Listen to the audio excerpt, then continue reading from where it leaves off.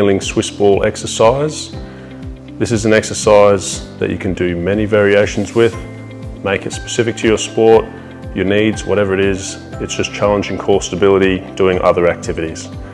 First and foremost is the mount of the ball and just your standard kneel. So I'm going to start with my knee on top or on the inside and I'm going to roll across and onto it. So I use my hands as I roll over, my other knee can fit on. You get more comfortable with that over time. You can start the exercise by just purely kneeling for the specified time. Getting your balance, may be hard enough. Okay, something you can do to challenge it if you have a ball, you can practice throwing sideways off the wall and catching. You can practice your chest passes if you do a ball sport like basketball or netball. You can throw it the other way. Or the other option is you can also grab a weight to challenge stability. So, for example, if I push the weight out, my body slightly moves back to adjust. That's normal. That's your body learning to balance, keeping your core locked down. So I'm going to keep my belly drawn in. I'm going to turn to the side.